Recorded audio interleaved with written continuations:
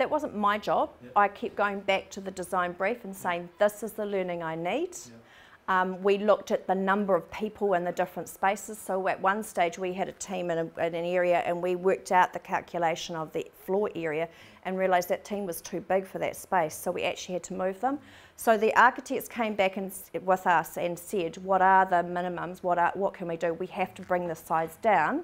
And then we problem solved some of the ways that we could do that. But they actually did the, the costing calculation.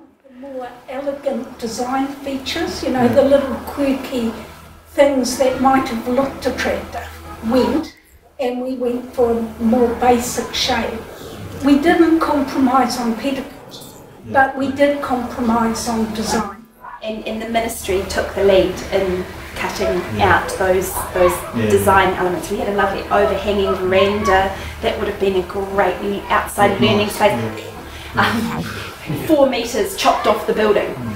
Yeah, so um, they get quite ruthless because they look at the numbers of children and area you're allowed, and they make it like that.